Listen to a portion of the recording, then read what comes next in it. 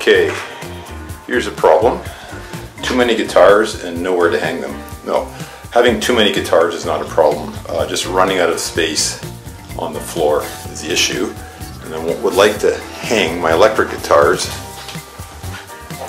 on this wall. Nice big empty piece of wall. But uh, the issue is the uh, Hercules hangers, which I've looked at, they tend to have your guitar sitting too far away from the wall, maybe a few inches away from the wall, and then they tend to sway back and forth. And it might be good for an acoustic guitar with a wider body, but for an electric guitar, I don't want electric guitars hanging about three inches away from the wall. I want it to be flush to the wall. So uh, I've just discovered these things. I don't know how well this will work. Um, greenhouse tool hooks.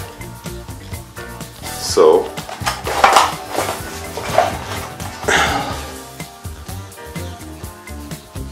what they are. I don't know if it's going to work, but we will see. Already encountered my first problem with this guitar. See the issue here? Because of the angle of this neck, the head, angle of the headstock, that there's no way that that hanger is going to sit flush. So it's not going to work for this guitar but it might work for my Strat. Whereas the Strat, you don't have this big angular headstock, so this could very well work for my Strat, which is usually the more problematic guitar to hang anyway because because of the asymmetrical neck. Okay, so just just an anchor and a, sh a shoelace. No, it doesn't look very professional, but those other things wouldn't work.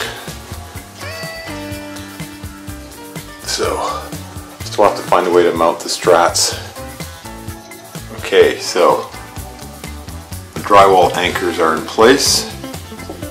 And that will just sit in there just like so.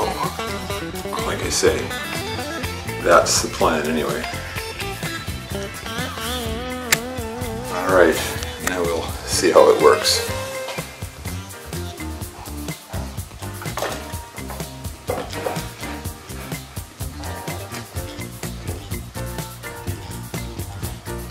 Yeah.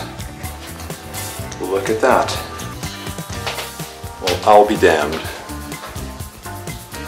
And it's sitting nice and flush against the wall.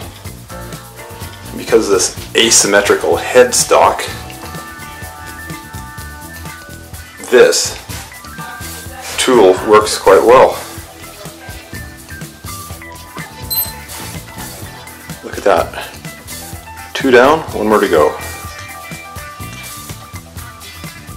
Be putting another Strat to the left of.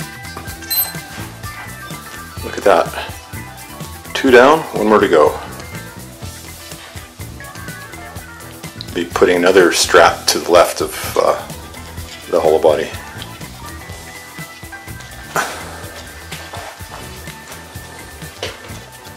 I will need to put some sort of uh, electrical tape here because these could scratch the headstock. So,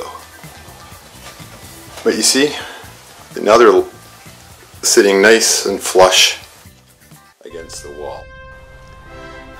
And mission complete. There we have it. Four electric guitars flush mounted on the wall. Cost me probably less than $7 versus probably $100 if I use the uh, Hercules mounting system. But I do see the Hercules mounting system being more advantageous for acoustic guitars that have the wider bodies, like those guys. Run out of wall space, so I better stop buying guitars. Anyway, this is just absolute work of art. I'm very happy with myself.